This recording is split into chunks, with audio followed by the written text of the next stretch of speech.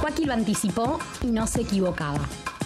Ya sos una distinta, ya me caes bien. Ay, bueno, gracias. Carla tiene 31 años, es de Mendoza y presentó una disciplina que definió como danza teatro acrobática. Yo hago teatro desde hace bastante tiempo y en un momento me encontré con este elemento, me enamoré y lo fusioné con la danza. Así que es una danza teatro acrobática, digamos. Hermoso, hermoso. Me gusta, bueno, contar historias con mi danza. Esto, que van a ver ahora lo hago mucho en las plazas.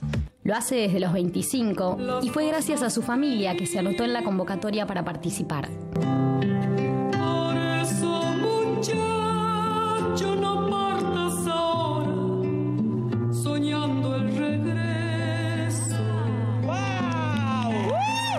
Carla recibió una ovación del público y su mejor premio, la emoción de Abel Pintos.